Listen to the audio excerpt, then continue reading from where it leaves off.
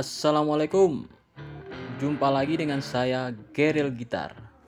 Kali ini saya akan berbagi tips buat teman-teman cara mengatasi neck gitar yang cekung atau neck gitar yang cembung. Caranya sangat mudah teman-teman. Kita tinggal memutar truss root yang ada di neck gitar ini. Nah di sini lubang truss rootnya untuk memutar root, kita butuh kunci L.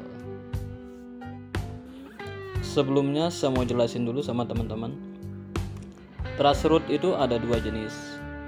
Yang pertama, root single action. Dan yang kedua, root double action. Nah, ini dia teman-teman, jenis root yang single action. Jenis truss root ini sudah jarang sekali dipakai atau dipasang di neck gitar karena hanya bekerja dengan satu langkah yaitu hanya bisa mengatasi neck gitar yang cekung dan tidak bisa sama sekali mengatasi neck gitar yang cembung. Kita coba kencangkan dulu. Nah, seperti ini teman-teman. Bentuknya kalau sudah dikencangkan dia akan cembung tapi truss root ini tidak bisa ke bentuk cekung nah ketika dikendorin ujung truss rootnya itu bakal lepas. Nah seperti ini. Dia bakal lepas. Truss root jenis ini tidak bisa mengatasi neck gitar yang cembung teman-teman. Yang kedua teman-teman ini dia truss root yang double action Truss root jenis ini bisa mengatasi neck gitar yang cekung atau neck gitar yang cembung. Karena truss root ini punya dua langkah yaitu bisa cembung dan bisa cekung. Nah, kita coba dulu teman-teman.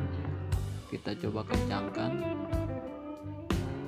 Nah, seperti ini dia cembung kalau dikencangkan. Ketika di ini apa namanya? Dikendorin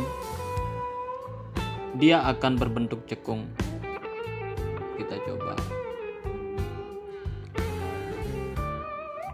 Aduh.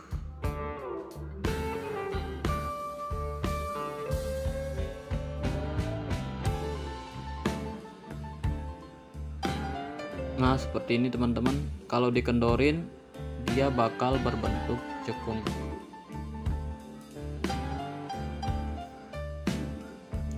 Nah itu dia teman-teman sedikit review tentang cara kerja truss root. Oke kita lanjut ke cara untuk mengatasi neck gitar yang cekung atau cembung. Pertama-tama kita cari tahu dulu apakah neck gitar ini cekung atau cembung. Kita tekan senar nomor 6 sampai nempel ke fret pertama atau bisa ditahan pakai kunci L atau apalah. Yang penting senar 6 itu nempel ke fretnya teman-teman. Nah seperti ini teman-teman. Senar 6 nempel ke fret pertama. Kemudian kita tekan senar nomor 6 di fret paling akhir. Seperti ini teman-teman. Terus kita cek bagian tengah seperti ini ditekan-tekan. Nah senarnya di sini tidak menyentuh fret teman-teman. Jadi neck gitar ini dia cekung jadi truss rootnya kita akan kencangkan sedikit sampai necknya benar-benar rata teman-teman. Oke kita lanjut ke tahap untuk menyetel truss root teman-teman. Nah di sini untuk mengencangkan truss rootnya kita putar ke arah senar satu. Untuk mengendorkan truss rootnya kita putar ke arah senar nomor 6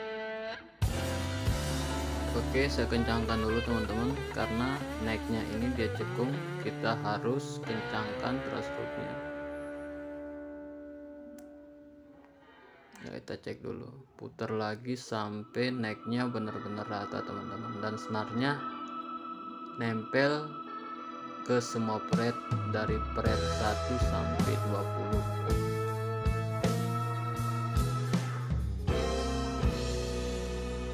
nah kayaknya sudah nih teman-teman. Nah ini dia teman-teman hasil akhirnya. Senarnya sudah nempel ke semua breadnya dari bread 1 sampai 20 dan necknya sudah oke video kali ini sampai di sini. Mudah-mudahan video ini bisa bermanfaat buat teman-teman. Sampai jumpa di video selanjutnya